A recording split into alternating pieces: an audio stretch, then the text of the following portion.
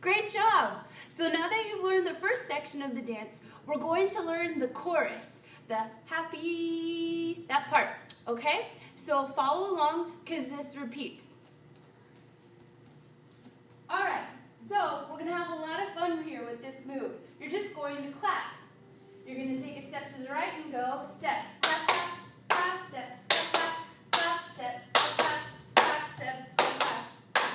Okay, goes to the right, step, step, step, step. Okay? Now, if you get the arms incorrect, don't worry about it. It's all about having fun. Just make sure you make the sound. Step,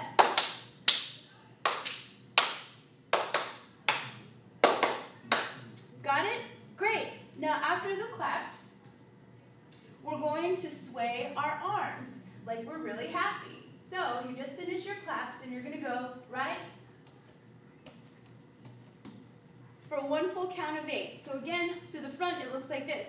One, two, three, four, five, six, seven, eight. Okay? Make sure you have the biggest smile on your face because nobody likes to see a sad dancer. Okay? Make sure you're looking happy. Let's put those two things together.